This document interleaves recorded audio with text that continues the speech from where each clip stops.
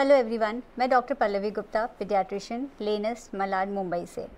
Corona का खौफ सब जगह फैला हुआ है। सबको ये टेंशन है स्ट्रेस है कि कहीं कोरोना तो नहीं हो जाए। तो इसके लिए बच्चों में क्या प्रिकॉशन लिया जा सकता है? आज हम बात करेंगे बच्चों के बारे में। बच्चों को अगर कभी सर्दी, खांसी, बुखार हो जाता है तो पेरेंट्स को सबसे ज़्यादा टेंशन रहता है कि हॉस्पिटल लेके जाना चाहिए या नहीं लेके जाना चाहिए। क्या मेरे बच्चे का कोरोना तो नहीं हो जाएगा या कोरोना तो नहीं हो गया है?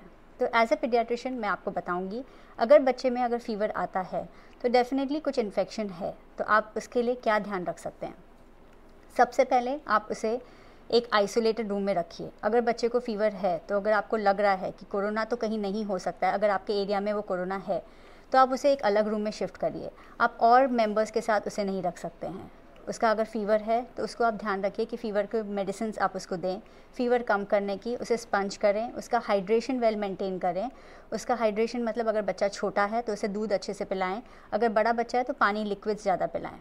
अगर बच्चे का यूरिन आउटपुट अच्छा है तो आप थोड़ा सा रिलैक्स रह सकते हैं। अगर बच्चे का यूरिन कम हो जाता है, फीवर कम नहीं हो रहा है, हाई है, बच्चा सर्दी है, खांसी है, बहुत ज़्यादा खांस रहा है ब्रेथलेस हो रहा है डिहाइड्रेशन में जा रहा है, शरीर में पानी कम हो रहा है, आपको इमिडिएटली एक मेडिकल हेल्प की ज़रूरत है।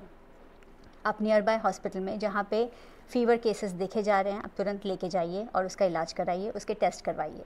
टेंशन की कोई बात नहीं है, उसके टेस्ट हो रहे हैं इवन घर पे आके काफ़ी लेबॉर्ट्रीज़ कर रहे हैं, आप वो टेस्ट करवा सकते हैं। बच्चों में भी ये टेस्ट करवाया जा सकता है।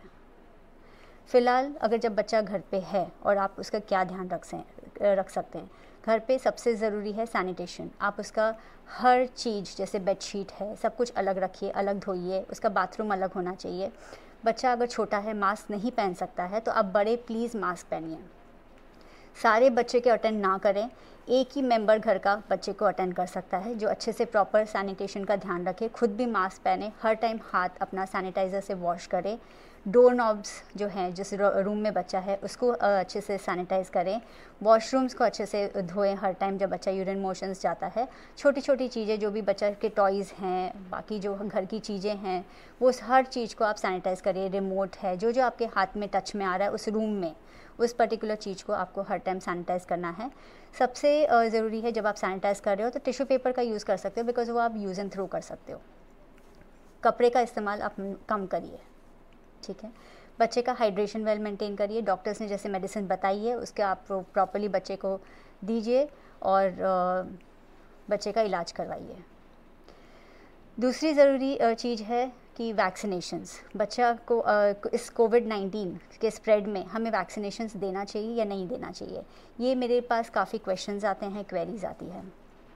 हम यहाँ पे लेनेस्ट में वैक्सीनेशंस के लिए और फीवर पेशेंट्स के लिए एक एक डिफरेंट तरह का मैनेजमेंट शुरू किया है, जिसमें हम शुरू में जब आते हैं ओपीडी में, तब हम सैनिटेशन का एटमोस्ट केयर करते हैं। हमारे सारे हॉस्पिटल के लोग स्टाफ मावशी से लेके डॉक्टर से लेके, सब लोग ग्लव्स सैनिटेशन हर चीज़ को स्टेरलाइज करना, ये हेड गेयर पहनना पीपीई पहनना, सब चीज़ वो ध्यान रख रहे हैं कि वो खुद भी अपना प्रोटेक्शन करें।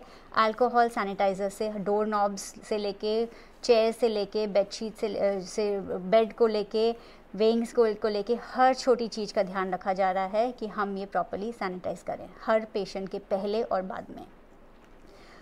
पहले जब हम यहाँ पे पेशेंट्स देखते हैं तो हम कोशिश हमारी ये रहती है कि पहले हम वैक्सीनेशन के पेशेंट्स देखें और फिर बाद में हम अपॉइंटमेंट्स ऐसे दें कि सिक पेशेंट्स को देखें, जैसे छोटे बच्चे हैं जिनको फीवर है या और कोई प्रॉब्लम्स है तो।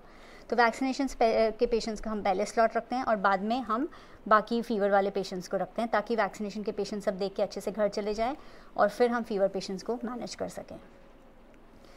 तो आप अगर वैक्सीनेशन के बारे में पूछेंगे तो मैं ये बताना चाहूँगी वैक्सीनेशन जो वन ईयर के एज में होता है ज़ीरो से लेके वन ईयर तक बर्थ से लेके वन ईयर के एज में, उसमें जो भी वैक्सीनेशन होते हैं, वो बहुत क्रूशियल होते हैं बिकॉज़ वो काफ़ी जानलेवा बीमारियों से प्रोटेक्शन करते हैं। तो वो देना ज़रूरी है। उसमें आप बहुत ज़्यादा डिले नहीं कर सकते। हैं अगर यदि हम डिले करते हैं तो प्रॉब्लम्स यही होती है कि बच्चा अगर घर में है और वो पर्टिकुलर वायरस से या बैक्टीरिया से बच्चा एक्सपोज होता है तो वो बीमारी उसे हो सकती है। तो वो बीमारी नहीं हो, इसीलिए हम वैक्सीनेशन टाइम टू टाइम अगर वन ईयर का दे देते हैं तो that is very good one year के बाद के जो वैक्सीनेशन हैं, वो काफ़ी फिर गैप्स में आ जाते हैं और वो थोड़ा और डिले भी हो जाए तो उसमें कोई और ज़्यादा प्रॉब्लम जैसी बात नहीं है रिस्क नहीं है। तो अगर आप वैक्सीनेशन का पूछेंगे तो मैं यही कहूँगी कि अगर आपके आसपास घर के वेल बेबी क्लिनिक है, जहाँ वैक्सीनेशन दिया जा सकता है, जैसे हम केयर कर रहे हैं वैसे ही वहाँ के हॉस्पिटल्स भी केयर अगर कर रहे हैं तो आप येस वैक्सीनेशन अपने बच्चे को लगवाइए। प्रायर अपॉइंटमेंट लीजिए स्पेस आउट करके जो अपॉइंटमेंट्स दे रहे हैं डॉक्टर वहाँ पे रिस्क काफ़ी कम हो जाता है। तो आप इस तरह से अपने बेबी का ध्यान रख सकते हैं। वैक्सीनेशन टाइम टू टाइम दे सकते हैं। और अगर हमारी आपको कोई भी हेल्प लगती है तो आप ऑनलाइन अपॉइंटमेंट्स के द्वारा हमें कॉन्टैक्ट कर सकते हैं।